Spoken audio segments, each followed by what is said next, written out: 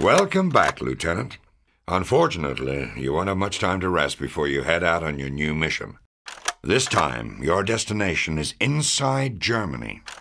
We're sending you to the Dachsmag submarine facility in Bremen, where they're building a new U-boat prototype that dwarfs anything we've seen before. Your job is to prevent this monstrosity from ever training its periscope on an Allied ship. Destroy it any way you can. We've arranged for your transport to Dachsmag aboard a merchant marine freighter. You'll be going undercover again, this time as a Kriegsmarine officer. Now let me be clear, Patterson. There's no room for error. The timetable is extremely tight.